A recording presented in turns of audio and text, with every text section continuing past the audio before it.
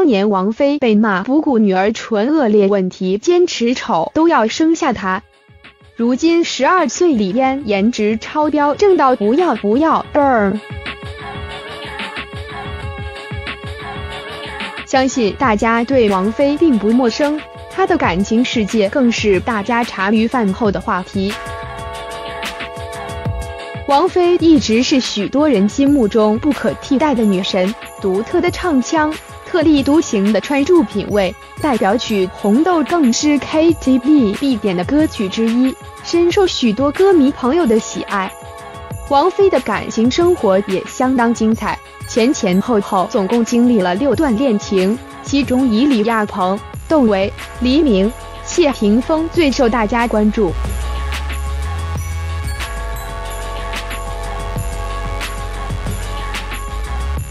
而在众多恋情中，总共带给了王菲两个小孩，其中跟李亚鹏生下的小女儿李嫣，在当时特别受到关注，甚至引起了媒体与舆论的大肆讨论。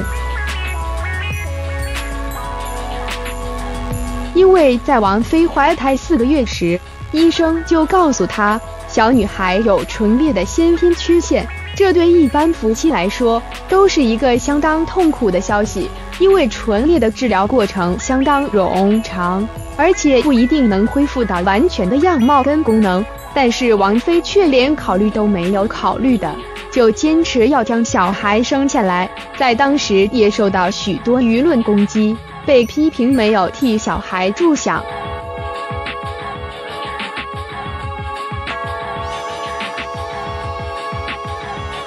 但是王菲从小就带助理嫣参加各种聚会，鼓励她不要自卑，勇敢面对镜头，给她建立了发自内心的自信。加上经过一连串的治疗之后，当初唇裂的痕迹几乎都不见了。李嫣就跟一般小女孩一样天真活泼，加上遗传的女神王菲的基因，真的是相当可爱的啊！近期媒体也拍到王菲带住小女儿李嫣逛街，似乎觉得很无聊，一脸酷酷的望住前方，没有太多表情。王菲则留住招牌利落短发，低头专心玩手机。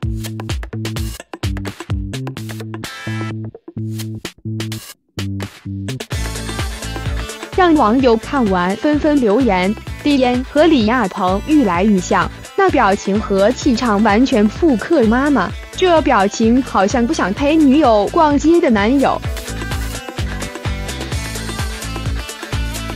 除此之外，李嫣还爱上了直播，常常与网友互动自拍与化妆技巧。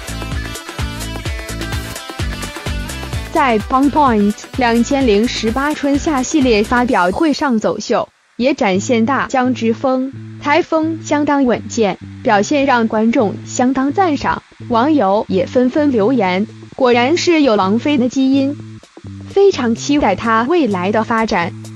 可见深受众多粉丝喜爱，人气也快要不输王菲了。